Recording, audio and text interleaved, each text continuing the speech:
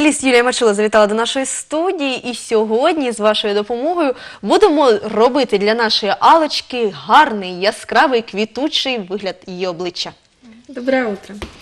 Э, Конечно, сейчас наступила весна, после тяжелой осени, тяжелой зимы, после испытаний всех для нашей кожи, ветер, мороз, перепады температуры. Главная проблема кожи – это сухость. Отсюда все проблемы шелушения, высыпания, неровности.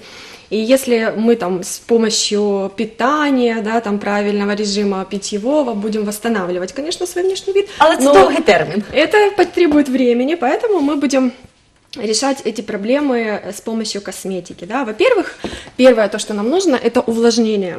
Э, Обязательно мы меняем свой крем, который мы пользовались зимой, питательный, на увлажняющий, и обязательно он должен содержать э, солнцезащитные факторы. То есть сейчас уже солнышко активное, мы защищаем нашу кожу. Кремами користуєшся?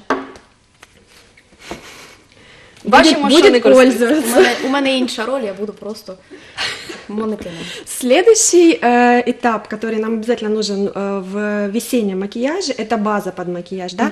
Это не зря потраченное время и деньги, это то, что нам обязательно нужно в- обязательно весной, потому что кроме того, что э, база у- э, удлиняет срок, да, носки нашего макияжа, она еще решает много проблем, так- и увлажнения в том числе и защиту нашей кожи, да, и от косметики, и от внешних воздействий. То есть Юлія, первое- а ось база, вона стандартна для абсолютно будь-якого типу обличчя, типу шкіри? Е, Чи можливо є- необхідно підбирати? Есть базы э, по типу кожи, и есть базы, которые подходят для любого типа кожи. То есть, э, в принципе, можно взять универсальную, которая будет э, справляться со многими задачами и э, их решать и помогать. Да? Поэтому э, первое, что мы делаем для нашего макияжа, это э, наносим базу на ліцо. Наскільки я розумію, база не тільки вирівнює колір обличчя, скриває недоліки, тримає наш макіяж досить довго, вона ще й допомагає йому виглядати квітуче.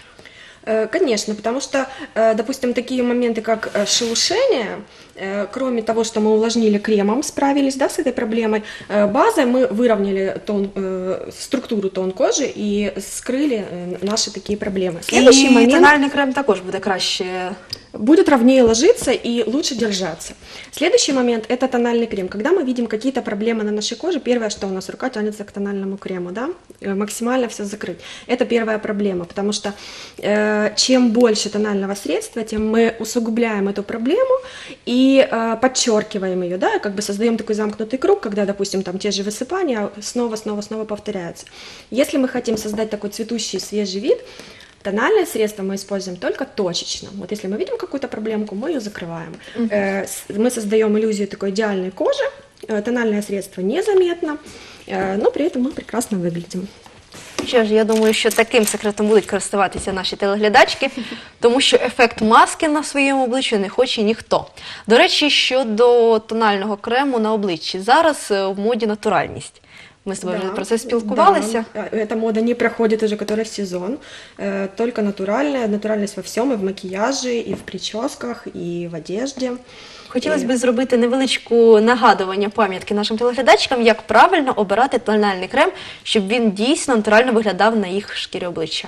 Э, Мы э, подбираем обязательно тон должен совпадать э, с тоном нашей кожи, он не должен отличаться. Для этого нам нужно выбирать тональное средство только при натуральном освещении.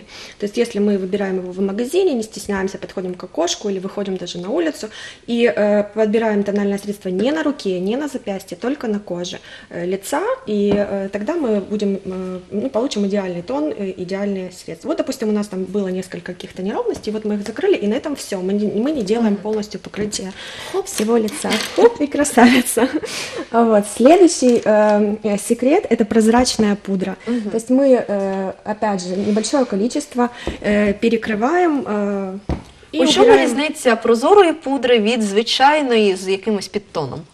Она не создает никакого цвета, все, что она делает, это матирует лицо, то есть она подходит абсолютно для любого тона кожи, и в течение дня вы можете обновлять свой макияж. Ось деякі з дівчат обирають е, пудру для обличчя для того, щоб ще більше скрити якісь недоліки. Чи правильний це хід, чи можливо пудра не впливає на те, Э, як пуд- їх скривати? Пудра, конечно, скрывает, особенно компактная пудра. Но если в течение дня мы будем постоянно-постоянно пудрить, мы как бы э, создаем неестественный вид лица и э, усугубляем проблему. То есть если мы пс- должны справиться с жирностью, с жирным блеском, мы используем матирующие салфетки.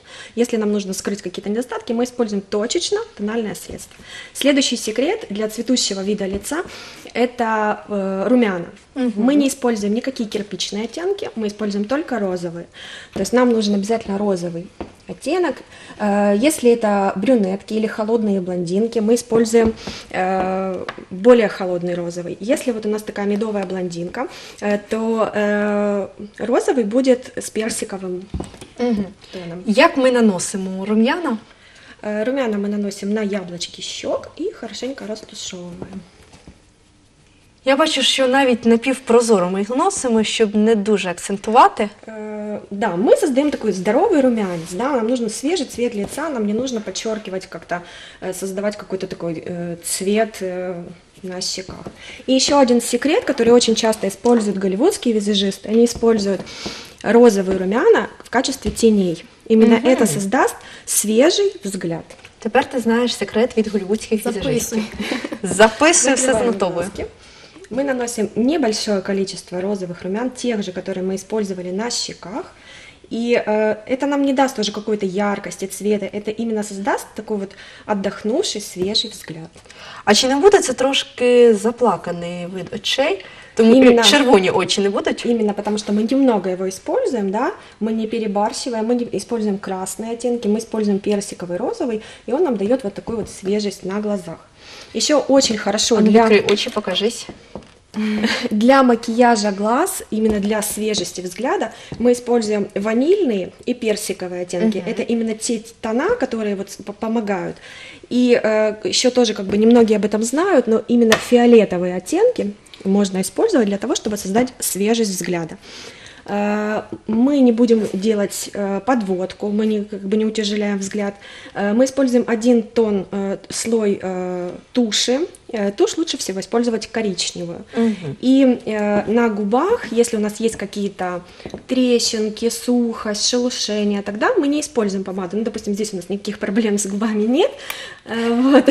Но если губы пересушены, тогда помада это только подчеркнет, поэтому мы не используем помаду, мы используем либо бальзам, либо блеск. Що ж, якщо будуть проблеми з губами, обираєш блиск. Запам'ятала? Як И я роз... записали. Наскільки я зрозуміла, макіяж у нас вже завершений.